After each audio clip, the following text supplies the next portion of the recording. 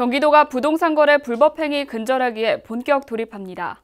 투기 우려 지역을 선제적으로 선별하고 투기 행위를 사전에 차단할 계획을 세우는 등 강력한 대책을 수립했습니다. 자세한 보도 내용 함께 보시죠. 오늘 경기도청에서 민선치익이 경기도 부동산 거래 불법 행위 근절 강화 대책을 발표했습니다.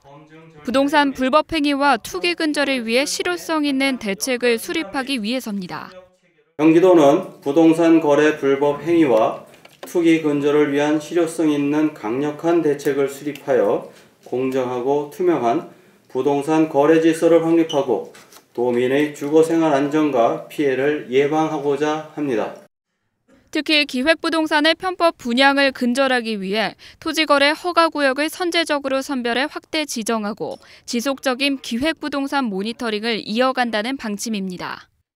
또한 경기도는 전국 최초로 기획부동산 주의보 제도를 운영하겠습니다. 도내 토지거래 동향을 지속적으로 모니터링합니다.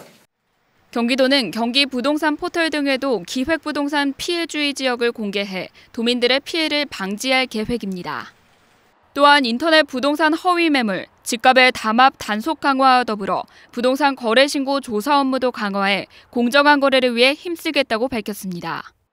이 밖에도 기획부동산 불법 행위 신고 센터를 경기도 콜센터에 운영하고 기획부동산의 토지 분양 폐해 차단을 위한 관계법령 개정도 추진할 계획입니다. 이로써 경기도는 부동산 거래의 불법 행위를 엄정 대처하고 투명한 부동산 거래 질서를 확립해 도민의 주거 안정을 위해 최선을 다할 방침입니다. 경기주 TV 조희정입니다.